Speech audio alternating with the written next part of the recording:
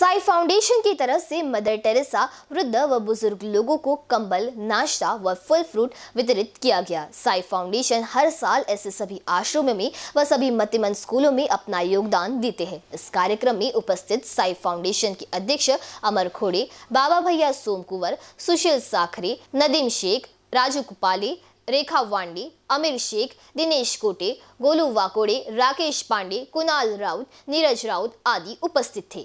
Mother Teresa आश्रम में 200 बुज़ुर्ग लोगों को ब्लैंकेट्स वितरण और नाश्ता दिया गया।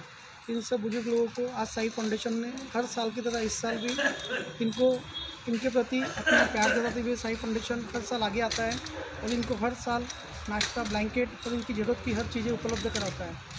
मैं साई फाउंडेशन के तौर से उमर कोड़े सबका धन्यवाद करता हूँ। आभार व्यक्त करता हूँ।